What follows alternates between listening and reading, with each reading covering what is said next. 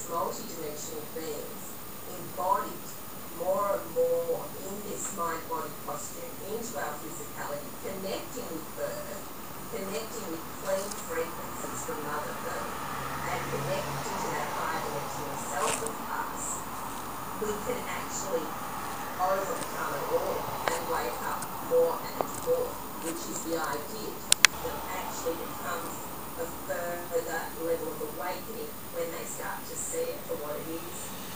Is that making sense to you? Yes, that's right. And, and I can see how uh, one can have a natural, say,